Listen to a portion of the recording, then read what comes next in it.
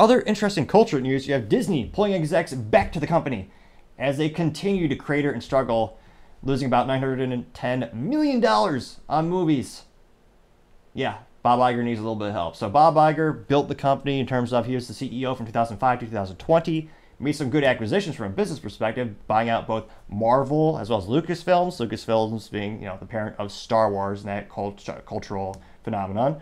And looks like now that he's back, take over from the inept Bob Chapek, who used to be his protege. Bob Chapek took over in 2020 and made a myriad of business blunders, including rising, increasing the price of the tickets, decreasing the amount of benefits for the annual share pass holders, making more politically charged movies. Um, the whole docu-series could be based on the business blunders of Bob Chapek.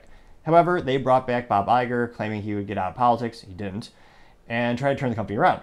Now, it looks like he's tapped two gentlemen on the shoulders to bring back into his fold, bringing back both Tom Staggs and Kevin Mayer, who looks like Tom Staggs is the current CEO of Candle Media, and they will be brought back, quote, they will assist ESPN chairman Jimmy Pitaro on developing and analyzing partners for the business.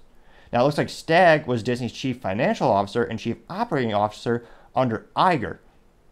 And Mayer was chief strategy officer before leading Disney's direct-to-consumer segment, including streaming.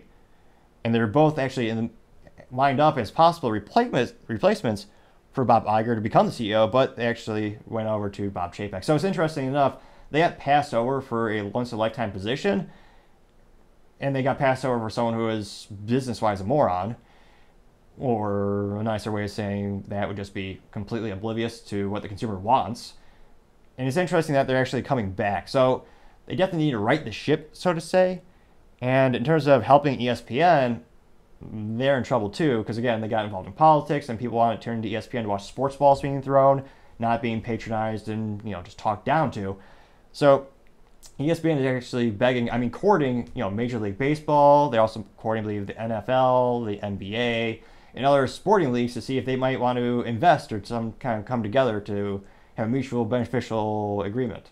When those sports franchises already have successful track records of selling the broadcasting rights to more successful outlets. Broadcasting rights being one of the most premium, expensive, important things about a sporting team, because of course when you have the broadcasting rights, that's where you get money off the advertisers and all that kind of good stuff. So there's a lot of benefits to it, obviously, of course, but I don't know if they'll be able to bring back ESPN into the folds.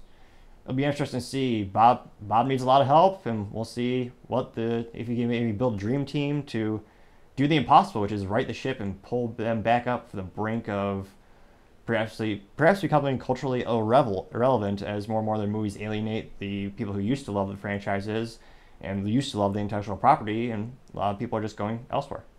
We shall see. Thank you everyone for taking the time to tune in today. I really appreciate you taking the time to click that subscribe button. We're trying to get to 3,000 subscribers by the end of August, and we really appreciate it because obviously the more we grow and develop, the better the content will become and the production will become. Also, don't forget to tell your family, tell your friends, tell your coworkers, heck, tell your enemies, tell anyone and everyone. Just stay safe and fight the good fight.